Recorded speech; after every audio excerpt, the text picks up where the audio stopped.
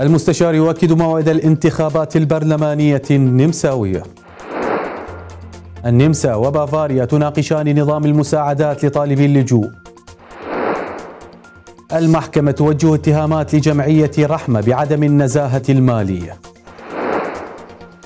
عدد سكان النمسا يتجاوز حاجز 9.1 مليون نسمة. 350 ألف شخص قام بتغيير شركة الطاقة بحثا عن مزود أرخص. وناشطون يهتفون داخل مترو فيينا ضد المجازر في غزة.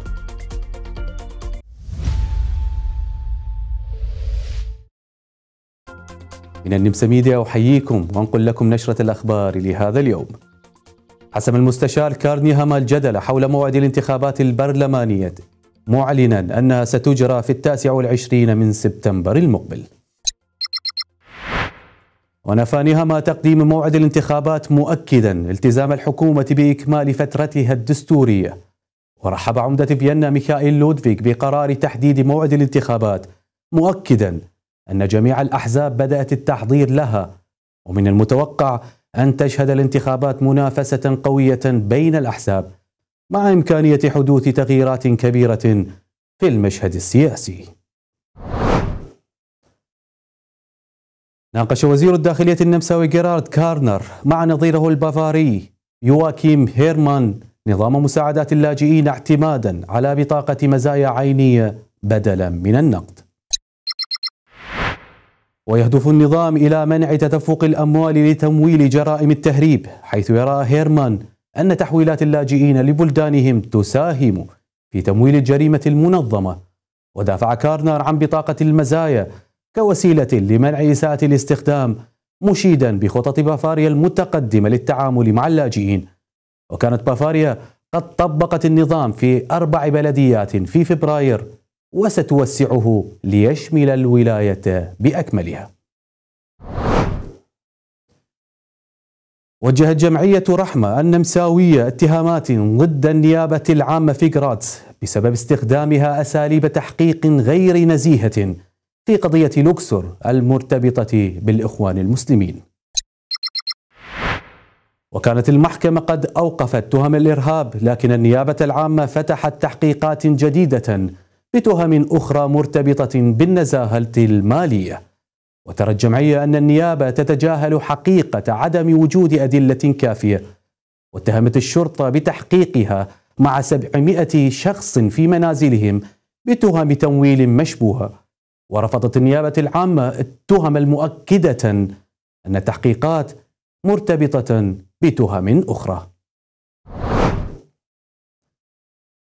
بلغ عدد سكان النمسا 9.16 مليون نسمة في يناير 2024 بزيادة 0.6% عن عام 2023 وتباطأ نمو السكان بعد تدفق اللاجئين الأوكرانيين في عام 2022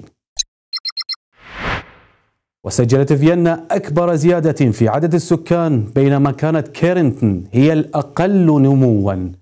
وارتفعت نسبة المواطنين الأجانب من 19% إلى 19.7% وتجاوز عدد سكان فيينا حاجز المليوني نسمة. وشهد وشهدت 67 منطقة زيادة في عدد السكان بينما انخفضت في 26 منطقة.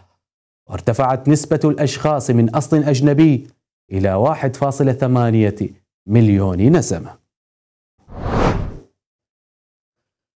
قام ما يصل ل 350 ألف عميل في النمسا بتغيير موردي الكهرباء أو الغاز في عام 2023 بزيادة 63% عن عام 2022 وبحث 246 ألف عميل عن مورد كهرباء جديد بينما قام 100 ألف عميل بتغيير مورد الغاز.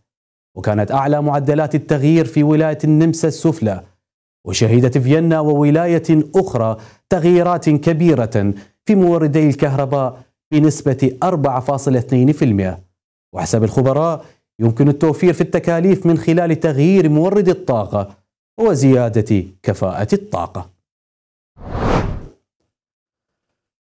عبر عدد من الناشطين النمساويين والفلسطينيين في فيينا عن رفضهم للسياسات الحكومية والأوروبية في التعاطي مع الحرب في غزة بالهتاف داخل مترو فيينا. وتجمع المحتجون في قطار الأنفاق هاتفين برفض استمرار الحرب منذ 130 يوما حاملين الأعلام الفلسطينية ومرددين هتافات تندد بجرائم الإبادة التي ترتكب بحق المدنيين وأشار المنظمون إلى أن الفكرة جاءت من رغبة بإيصال الصوت إلى أكبر عدد ممكن فيما كانت ردود الفعل متفاوتة بين الإيجابي والحيادي